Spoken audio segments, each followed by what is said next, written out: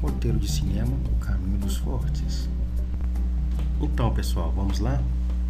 É, quem assistiu o vídeo anterior notou essa situação aqui, né? A Mariana e o, o marido dela, Gustavo, estão em franca discussão por causa da, da mensagem da Fernanda no celular, ok?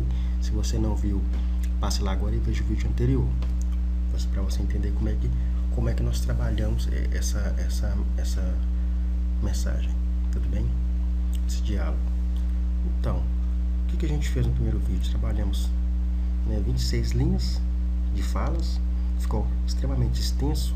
Abre até um parêntese aqui. Às vezes a pessoa tem uma dificuldade enorme para escrever uma página ou duas. O diálogo ele é um autêntico comedor de páginas. É essa simples fala aqui que a gente fez com 26 linhas, ela consumiu quase 4 páginas. Só para você ter uma ideia, quase 4 páginas. Seria praticamente 4 minutos de um roteiro.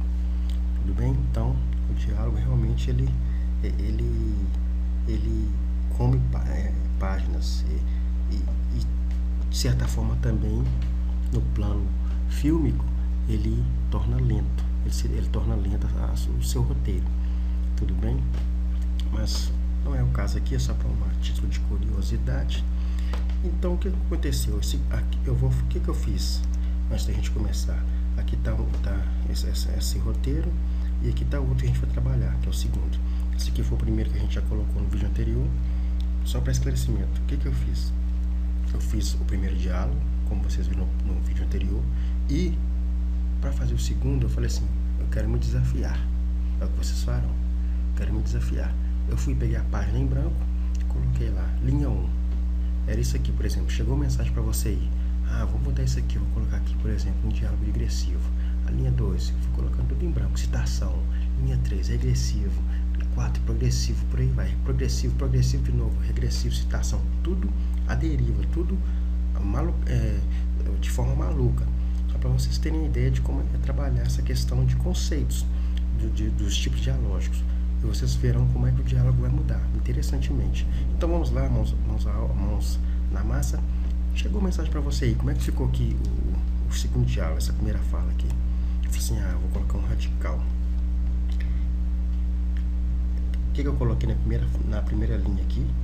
Coloquei, quem é Fernanda? A Mariana já questionando o Gustavo, era claro, ela já acabou de ler a, a, mensagem, então ela já está mais agressiva, que já mudou um pouco a questão da, da ação. Mas por que, que eu coloquei? Porque eu já tinha predefinido lá na folha branca, vou usar um radical. A segunda linha, na, na, na, no, no, roteiro anterior, o Gustavo tinha falado assim, é? Aqui ele já fala assim, como? Como? Ela, assim, ela, ela, ela já atacou o cara na, na, na veia, no tendão de Aquiles, porque ele tem um. Pode ser que ele tenha algum caso com essa tal de Fernanda. Então, quando ele saiu do banheiro quentinho, enrolado na toalha, e já toma um sopetão desse, quem é Fernanda? Né? Aí ele já jogou aquela básica de direção. Como? Quer dizer, como? Não sei. Isso eu já tinha definido, pré-definido na linha. Tudo bem? E aqui na terceira linha, é, é, eu falei assim, eu, eu, já tinha colocado, vamos trabalhar com citação. Aí, Mariana, como já, já sabíamos, ela estava sentada na cama, lendo um livro ela volta a atenção para o livro e finge ler algo recém-descoberto, como se aquele fosse um livro de alta ajuda, um livro filosófico ou de psicologia, talvez. Aí ela vai, finge que está lendo e fala: Homens com tendência para atrair têm que ir mais baixo. E conclui assim, em tom decisivo: Satoshi Kanazawa, quer dizer, acabei de ler aqui agora, vou ver se eu pego ele. Primeiro ela lançou a isca. Quem é Fernando? O cara ficou meio maluco. Ela vai já joga, poxa, outra bomba. Tá vendo como é, como é, como é que vai mudando? Por que, que eu tive que tirar isso aqui da caixinha? Porque eu me forcei a colocar uma citação. Correto? Linha 4. Gustavo malandramente repete com outra citação. Ah, defeito fundamental das mulheres é a falta de senso. E conclui também Schopenhauer. Uai, quer dizer, aqui, eu, só de eu ter colocado aqui linha citação com a folha em branco, a minha memória teve que puxar para preencher esse espaço aqui. Vejam vocês que já mudou o tipo de diálogo. A linha 4 lá, o que que era? Onde é que a gente estava lá na linha 4? No, no outro diálogo. A gente estava aqui, ó. Gustavo fala assim, ah, depois eu vejo. Não vai ler? Depois eu vejo. Né? Então aqui, já está um pouco mais avançada a discussão. E aí ela vai predefinir regressiva, ela fala, você, desculpa aqui, você, como sempre, se fazendo de bobo, quer dizer, regressivo. Ela jogou a lá para trás. Vamos voltar aqui no iníciozinho, só para fazer uma observação pequena. Por que o radical tem um asterisco? Vocês vão notar, radical. Quem é Fernanda? É uma pergunta, eu falei radical sempre uma interrogação. Por que, que ele é neutro? Porque, gente, radical, ele pode ser ao mesmo tempo qualquer coisa. Quando a Mariana fala assim, quem é Fernanda? É uma pergunta. Ela está sendo regressiva ou progressiva? Eu lanço para vocês.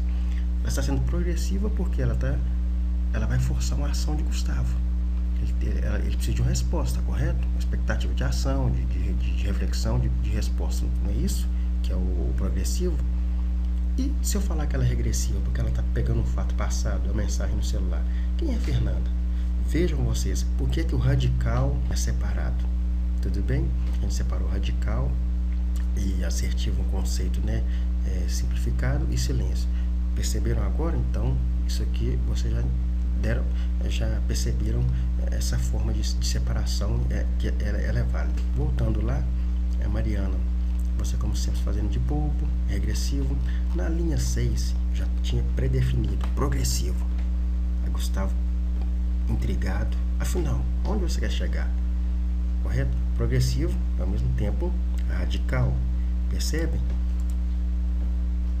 Ok, sem problemas. Linha 7, digressivo. Lembrem vocês que digressivo é questão de tema. É, ele sempre vai estar combinado com outras formas. Aí Mariana fala, por que você não fala a verdade? Ela mudou o tema aqui. Pelo amor de Deus, haja como um homem pelo menos uma vez. Ao mesmo tempo que ela está sendo também regressiva. Está mexendo aqui na ferida dele. Está trabalhando uma, um aspecto do personagem, aspecto anterior do personagem que deve, provavelmente aqui deve sempre agir como uma criança. Então, por isso que tem um asterisco aqui digressivo, gente, é tema. Digressivo, forma direta, é tema. Alguns autores eles costumam falar que é, um, um material que eu achei assim, mais próximo dessa questão de diálogos que eu separei, ele fala em diálogo, diálogo oblíquo, quer dizer, tente fugir daquela resposta comum, do lugar comum, tente fugir do sim ou do não, ou de um talvez, de uma resposta simples, ah, você foi de ônibus, ah, eu fui de ônibus. Isso é uma resposta muito direta. Então, é, quando você é, tenta trabalhar esse diálogo, como alguns dizem, oblíquo, eu preferi colocar digressivo e coloquei algumas nuances dentro dele, você vai enriquecer seu diálogo, tudo bem? E vai, consequentemente, mostrar o ponto de vista do seu personagem. Na linha 8, retomada, Gustavo fala assim, eu? Eu não falo a verdade? Tá? Como é, é, é ele está retomando a fala dela. No, no diálogo anterior aqui, ó, pode ser que esteja por aqui. Quer ver o Gustavo? Fernanda? Ela fala, quem é Fernanda? Agora que ela estava lançando a pergunta, Gustavo, quem é Fernanda? Aí ele tenta, ele mesmo, né? Ele responde, é colega de trabalho, nova de trabalho e tal. Aqui, a gente já está aqui em uma outra situação. Nós não vamos ficar voltando muito lá, senão não vai dar tempo, mas é, eu, eu, faço aqui é, observação de que quem não viu o vídeo anterior, que veja, para entender essa situação melhor, tudo bem? Isso aqui é a continuação, Linha 9, retomada. Tá vendo? E eu, isso aqui foi predefinido antes. Eu coloquei assim, retomada. E não sabia absolutamente nada do que o que eu colocaria para preencher essa situação. Gustavo, eu não falo a verdade? Mariana, outra retomada. Não fala a verdade sim. Você é dissimulado. Quer dizer, além dela retomar a fala anterior, ela acrescentou alguma coisa. Nós já conhecemos esse diálogo aqui de, é, de retomada, né, de continuidade, por aí vai. É, forma direta, Aí Gustavo, mesmo assunto. Eu não sou dissimulado. Aí linha 11, retomada. Coloquei em branco e fiquei forçando. O que, que eu vou colocar aqui de novo para para continuar o diálogo? Fiquei pensando, pensando, me veio isso. Dissimulado e desleal. Percebe? Linha 12, coloquei outra retomada. Falei, nossa, eu estou me forçando, eu estou me desafiando. É isso que vocês farão. Tudo bem? Vocês vão colocar tipos dialógicos na folha em branco depois do primeiro diálogo pronto e vão tentar mudar, fazer alguma coisa com ele. Linha 12, retomada do Gustavo. Desleal? Não. Você é problemática. Você me pergunta quem é Fernanda e me vem com mil acusações. Que é que está acontecendo? Ao mesmo tempo que retomada, tá vendo? É, ele é progressivo, ele está forçando a resposta dela, ele tem um radical, ele é regressivo, porque ele fala de um, de um fato que já passou, igual você me pergunta quem é Fernanda, percebem? Mas o cerne da questão aqui, gente, é o, o, a retomada. Quando a gente coloca assim, para vocês não ficarem confusos, quando eu coloco assim, retomada, retomada, forma direta, citação, eu estou tentando buscar o cerne da, daquela, daquele diálogo, a, a, tônica dele. Não necessariamente ele vai ser sozinho citação, ser sozinho retomada. Ele sempre vai ser um diálogo combinado, como a gente já disse, ele sempre vai ter um, uma forma direta, uma digressão como tema e ritmos variados dentro de um diálogo só. Né? Não é pau é pau, pedra é pedra, não. A gente só define a questão da tônica. Assim que a gente joga aquela tônica, podemos totalmente trabalhar outros tipos dentro de, desse recorte, tudo bem? Linha 13, citação, Mariana Baironiza. Gu. Faz aquele tom, né? Gu, quer dizer, pô, chamando ele de marido dela de Gu. Obrigada por tudo, você é muito especial. Aí conclui, eu li a mensagem, se quer saber. Deixa eu ver se é esse roteiro mesmo que a gente tem que olhar. Esse mesmo, sim. Olha para você ver, ela está aí. Por que a citação? Porque ela retomou algo que já estava lá, que foi visto na tela do celular, no início do, da, da, situação, do conflito. Então ela está citando a, a fala de alguém, que é especificamente da Fernanda, correto?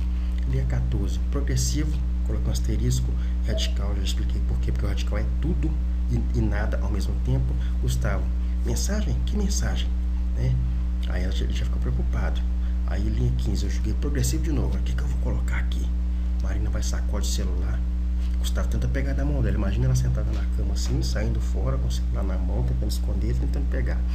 Aí ela vai falar assim: se quer bancar engraçadinho, sai da minha vida. Quer dizer, ela forçou uma situação para ele sair fora. Aí, ao mesmo tempo que, ele, que o, a linha 16 aqui é regressiva, é, ela também vai ser um, um radical. O Gustavo ainda tentando pegar o celular, ele fala: Que mensagem, meu Deus, me dá esse celular aqui.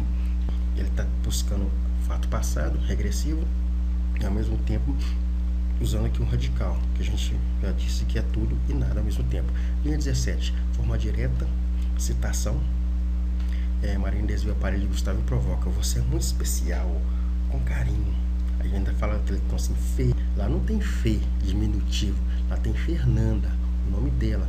Então, ela já está ironizando aqui mais uma vez. E citação, porque ela puxou novamente aquela mensagem lá do início do conflito que apareceu na tela do celular.